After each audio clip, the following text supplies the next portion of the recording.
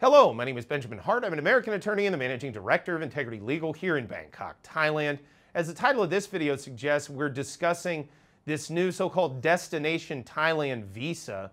And with regard to this, understand we are in early days here.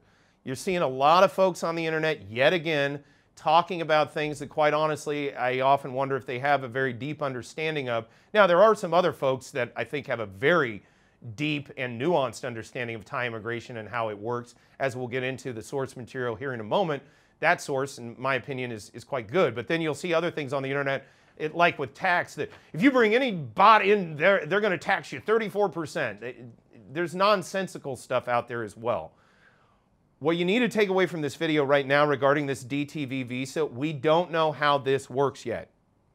We're right on the cusp here in June at the time of making this video. We have not seen this thing rolled out. We have not seen the practical implications when it comes to the regulations that immigration is going to impose with regard to this. We don't know what the adjudication is going to look like coming from Thai immigration regarding these, Thai, these type of visas, as well as the adjudication protocols associated with the Thai Ministry of Foreign Affairs, i.e. Thai consulates and embassies abroad who might be issuing these types of visas. In any case, let's get into this. I thought of making this video after reading a recent article from the Pattaya Mail, that's pattayamail.com. Article is titled, Thailand's New Visa Rules from June 1 Break Fresh Ground. Quoting directly, in other moves, the number of non-immigrant visas will be reduced by creating a new DTV, Destination Thailand Visa, which will now cover remote workers, sportsmen, musicians, and medical tourists, among others. Okay, first off, again, I'm going to be interested to see the way this plays out because, again, as we've discussed in other contexts, work authorization is not the same thing as immigration authorization. I've read the Immigration Act of 79. There is no inherent work authorization conferred under that either.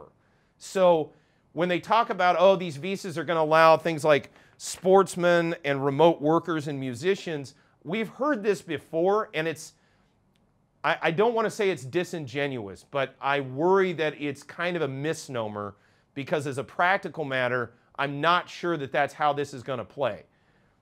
Again, it's like the context of a business visa. People think because they have a business visa, they can work in Thailand. Well, they can't, or at least historically, that's always been the case. The business visa is your visa. Work authorization, your work permit, is another thing entirely. And as we've discussed before, Labor Department is a different ministry is a, is a, it's a different department of the Thai government, if you will, than the immigration department.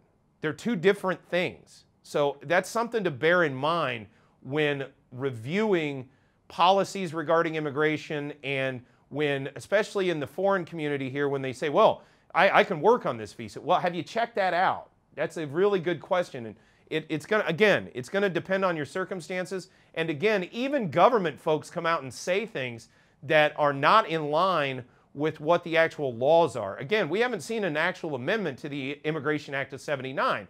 So anything that comes along would be regulatory, and, and the regulations are subordinate at the end of the day to the act itself. You got to bear that in mind. In any event, quoting further, the DTV will allow a stay up to 180 days plus an extension on payment of a further fee for a period of five years. Now, again, we discussed this in another video. Apparently, this is going to be similar to the old multi-entry one-year visas, wherein the sticker validity, if you will, was a year. But when you came into Thailand, you got 90 days of status at each entry. From what I've read in other sources, this will have a five-year sticker validity, if you will, with the ability to come in and be granted lawful status for 180 days. And you can get a second 180 days, but also from what I've read, that will end your status. You, you can't continue to do that throughout the whole five years. Total amount of time you actually get in country and how you choose to use that is up to you, but the total amount, as I understand, is a year over the course of that five years.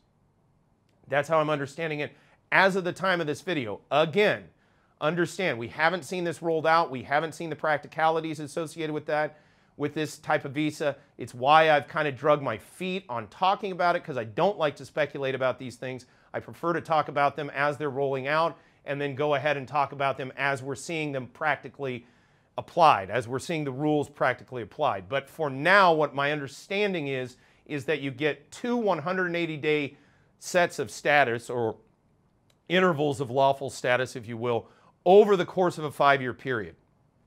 Quoting further, the government spokesman did not provide all the details, but there is a provision for families to join the visa holder. The cost of the visa appears to be 10,000 baht per 180 days with a 500,000 baht bond lodged in a Thai bank. I've, al I've also heard various things proving up an ability, that proving up that you have 500,000 baht. Again, uh, this notion of lodging it as a bond, that seems on point to me.